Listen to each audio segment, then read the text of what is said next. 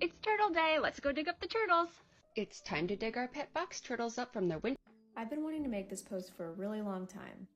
Those that don't know, this creator has box turtles which she buries every fall and digs up every spring.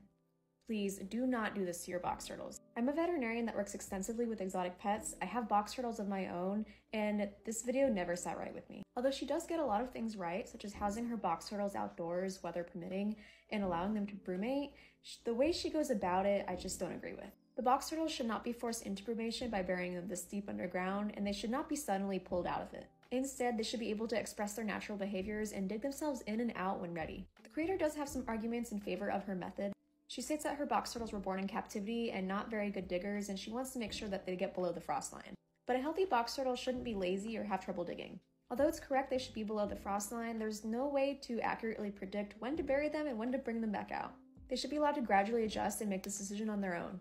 Even more in this video, she states there's a lot of variation in how awake they are when she digs them up year after year. Now, I'm not here to bash this creator. She actually has a lot of good information on brumation. I do appreciate that she allows her box turtles live outside and have as natural of a life as possible.